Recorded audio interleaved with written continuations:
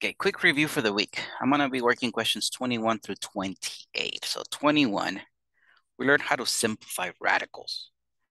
My root is 3, so I got to think of perfect squares, of perfect cubes. Right, I, I got to think of what's 2 to the third, 3 to the third, 4 to the third, 5 to the third, as far as I need to go. All right, I know 2 to the third is 8. 3 to the third is 27. 4 to the third is 64. 5 to the third is 125. The root was 3, so I was doing to the third. Now, number-wise, 250. Let me break this into two radicals. I'm using root 3. Two numbers that multiplied equals 250 one of my numbers has to come from here. Now, some people, what no, the, the multiplication that comes to our mind quickly is 25 times 10. But neither the 25 nor the 10 are on my list. So no, I cannot. Remember, one number, one of the two numbers has to either be an 8, a 27, a 64, 125. So in my case, I'm going to think 125 times 2. Because I know the cube root of 125 is 5. So numbers wise, this is going to become 5 cube root of 2. Letter wise, my exponent is smaller than my root, so nothing I can do. a to the second on the inside. So actually, let me write my 5 a little closer. That's it. All right, 22. My root is 2, right? When we don't see it, we assume it's a 2. So I'm going to say, all right, I'm going to think of perfect squares. Like what's 2 to the 2? What's 3 to the second? What's 4 to the second? What's 5? And so on. I think I can go up to right there. I think I'll be good. 2 to the second I know is 4. 3 to the second I know is 9. 4 squared, and 5 squared. I know those. So I'm thinking, gotta multiply, I gotta separate this into two numbers. Two numbers that multiply equals 72. One of my numbers has to be from here. I know 72 divided by 4 is 18. So that means that 4 times 18 is 72. The square root of 4 is 2. So this becomes 2 square root of 18. If there was a numbered, if there was a numbered outside of my radical, I would have multiplied two times that number, but there's none. Okay. So now look at this as if you you were starting from scratch. 2 radical 18. Can you do better? Yeah. Square root of 18, let me break this as two radicals. I'm going to break this as 9 times 2. Because I know the square root of 9 is 3. So it's going to give me 6 radical 2. Right, this 3 multiplied with this 2 outside, that's where I got the 6. 6 radical 2. Now, letter-wise, my exponent is bigger than my root. Right, 3 is bigger than 2, so I can do something better. So v to the third, write your v three times. And I'm going to do groups of 2 right? V to the third, notice I wrote it three times. My root is two, so I'm gonna do groups of two. So there's one group. How many groups did I make? Just one group. So I'm gonna be V to the one on the outside, or just V. Any leftovers? Yeah, one V. That's gonna go inside of the radical. So my answer is 6V radical 2V. Nice. Let's take a look at number 23 we added subtracted radicals. First thing is simplify each radical if you can. The first one, radical 2, nothing I can do. So I'm just going to go negative 2, radical 2. The next one, radical 18, yeah, I can break that as 9 times 2. 9 times 2 is 18. The square root of 9 is 3. Now this 3 with this negative 2 that I was outside to begin with, multiply those, you're going to get negative 6 radical 2. Now, square root of 45, yeah, I can do better. Let me break that 45, let me break that as 9 times 5 because the square root of 9 is 3. Now this 3 multiplied with this 2, that's going to give me 6 radical 5. Then combine your like terms. I see these two have the same radical.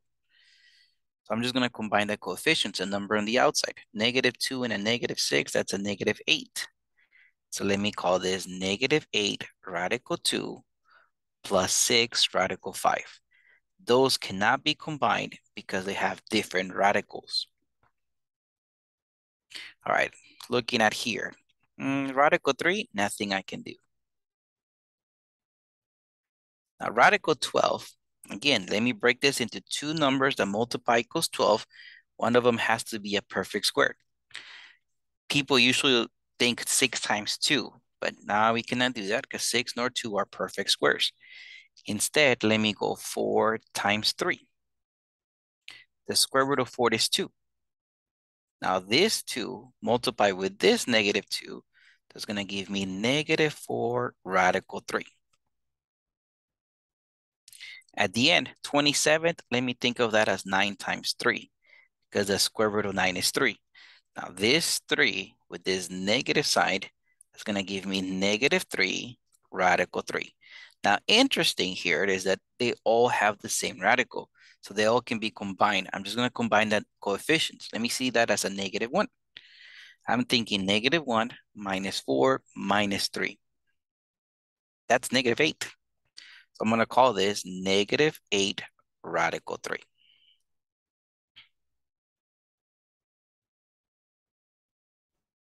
Then we learn how to multiply. Let me distribute this negative 2 to the second parentheses. That's going to give me negative 2 plus 8 radical 5. Whole numbers with whole numbers, radicals with radicals do not mix and match. Okay, now let me distribute this 4 radical 5 times 1. Let me multiply the whole numbers. So 4 radical 5. And then let me multiply here. So if I multiply the whole numbers, that gives me negative 16. If I multiply the radicals, I get radical 25 right? Whole numbers with whole numbers, radicals with radicals. Okay, simplify if you can. My first term is just a negative 2, nothing I can do. And then I have plus 8 radical 5, nothing I can do, plus 4 radical 5. Now here, square root of 25 is 5. It becomes a whole number, not a radical anymore. 5 times a negative 16, that's a negative 80 it doesn't have a radical anymore because the whole the, the radical became a whole number. Now let me combine like terms. Negative 2 and a negative 80. I'm going to call that negative 82. And then I see these radicals here. I'm just going to add the coefficient. So I'm going to go 12 radical 5. Remember, coefficient is the number outside. That's it. Looking at number 26. 5 radical 3 multiplied to the second parentheses.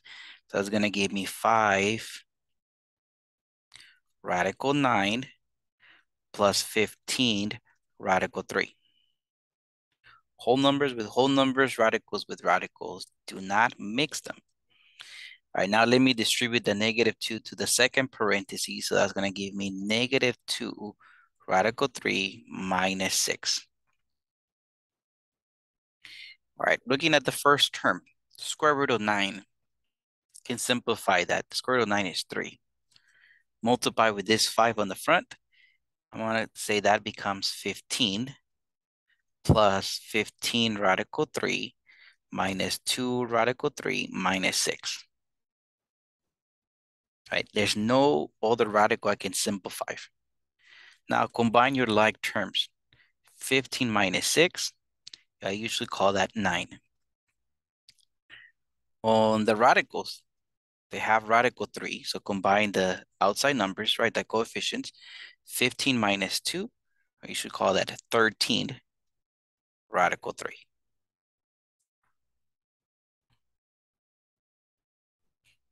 Lastly, multiple division. I'm going to multiply top and bottom by 2 plus radical 2. Right, I'm using the term in the, in the bottom, but instead of a minus, I'm writing plus. All right, so multiply the 5 to the second parentheses. So it's going to give me 10 plus 5 radical 2. At the bottom, put this in parentheses, distribute the 2 to the second parentheses. So it's going to give me 4 plus 2 radical 2.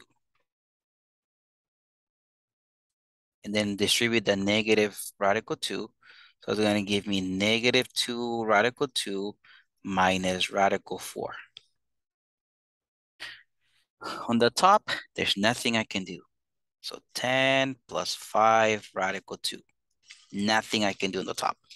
The bottom, a couple of things. These terms in the middle cancel out because 2 minus 2, right? Now combine the coefficients, 2 minus 2 is 0. Another thing, at the end, minus radical 4, isn't that just minus 2? Because the square root of 4 is 2. So at the bottom, I see 4 minus 2. I see it right here, look, 4 minus 2. So let me just call that 2. No negative signs at the bottom. Now, when I look at my coefficients, there's nothing I can do. Coefficients, what I mean is my whole numbers. Can I divide them all by the same thing to make them smaller? No, nothing I can do. So that's it. Lastly, let's take a look at number 28. Let me multiply top and bottom by a negative 5 minus 5 radical 5. I'm only switching that sign in the middle. Not the negative from the beginning, just that plus sign. Switch it to minus sign. All right, let me multiply the 4. Looking on the top, let me multiply the 4 to the second parentheses. So that gives me negative 20 minus 20 radical 5. Looking at the bottom, let me distribute the negative 5 to the second parentheses. So that's going to give me 25 plus 25 radical 5. And then let me distribute this 5 radical 5 to the second parentheses.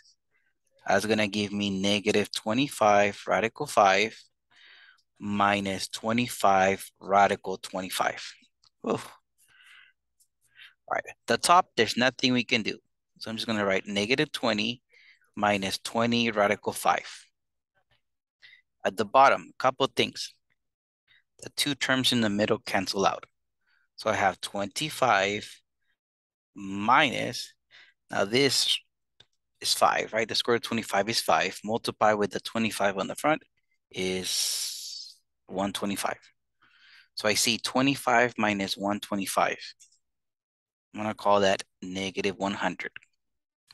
Okay, first thing, I see a negative sign at the bottom. I'm gonna change the signs of everything. So I'm gonna change it to positive 20 plus 20 radical 5 over positive 100. Can I have negatives at the bottom? So I switch the signs and everything. Then I look at my coefficients, my whole numbers, 20, 20, and 100. I can divide them all by 20. So that's going to give me 1 plus 1 radical 5 over 5.